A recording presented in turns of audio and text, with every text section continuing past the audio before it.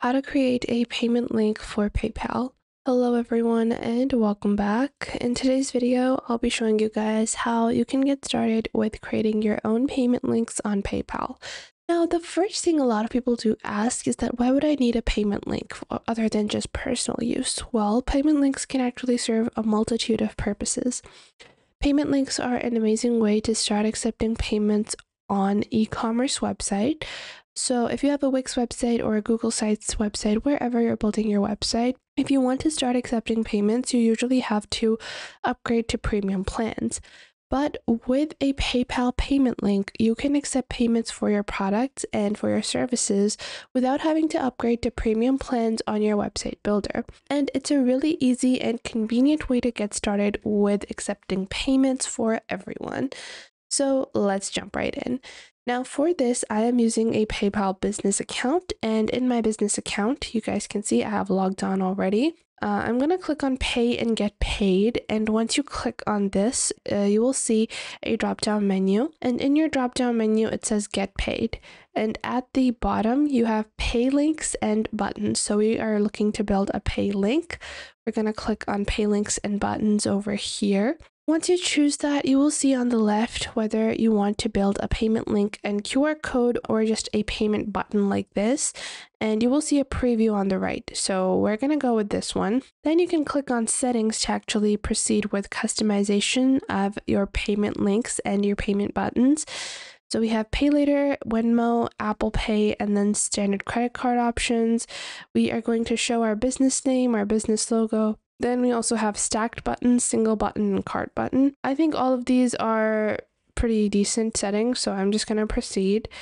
Then you're going to create your product or service. So whichever product or service you want to, uh, you know, sell with this payment link, you can add that. And so I am going to add a single product or service, and the product is going to be our mat, or let's say this is going to be our uh, Makeup 101 teaching class. And then after that, we have the currency and the price. Let's say it's um, $50.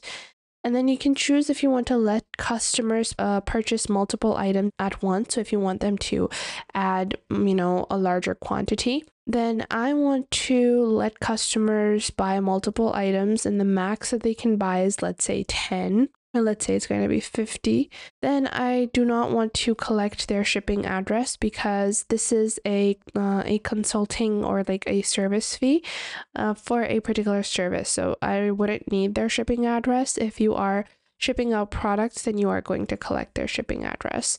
If you are shipping out products, you can also add your shipping fees as well as tax rates. You can set your tax rates from your PayPal settings or use a specific tax rate or select taxes not applicable. Then below that, you have your customize your thank you. So you can build a custom URL or no auto return.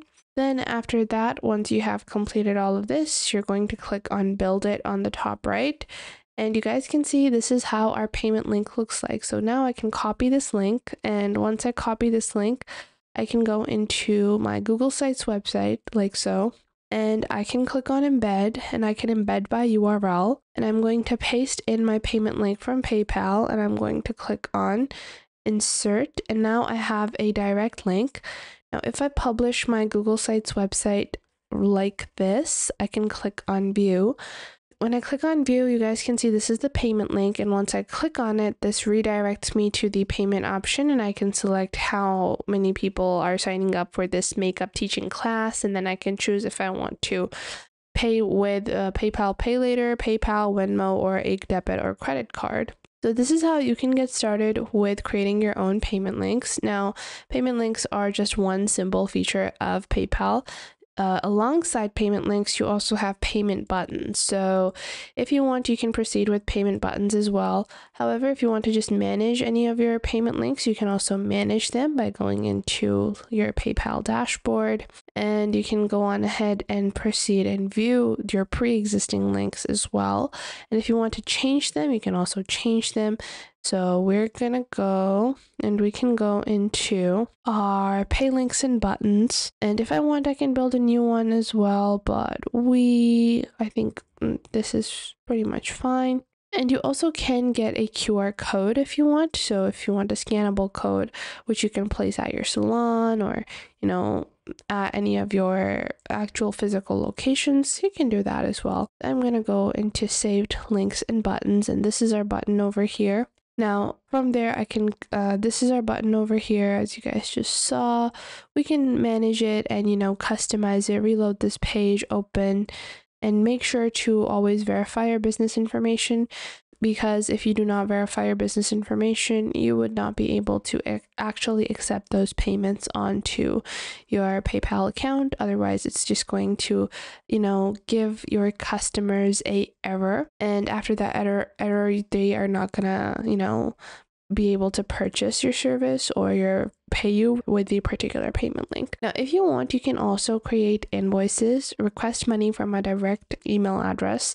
Then you also have business profiles, QR codes specifically, which you can generate.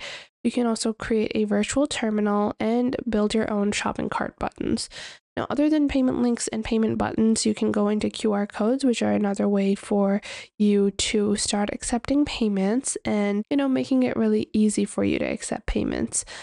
We're gonna go into our business tools and then other than that this is the most manual method and sometimes for most people it's gonna be a bit time consuming where you can send out individual invoices so, having to send out individual invoices to everyone is a pretty manual procedure. And if you're looking to integrate onto, you know, like a website like this where people can just click on it and then pay, and then they would be registered or then they would receive their service or their product, Having to generate custom invoices for that can be a bit redundant, but you can actually create estimates, items, customers, recurring series all within invoicing, and you can add multiple different items or services together as well as attach more information regarding the purchase or the sale that you have made. And this is so simple and easy, and PayPal provides you with the opportunity to easily be able to customize all of your payment needs and requirements, whether you're looking to upgrade to a more sufficient e commerce platform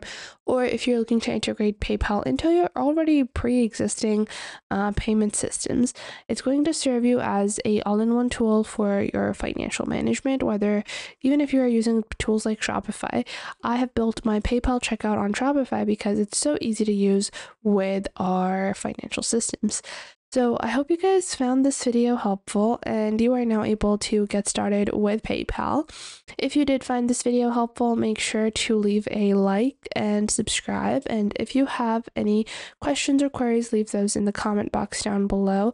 I would love to know what you guys have to say and have a great day ahead. Thanks for watching.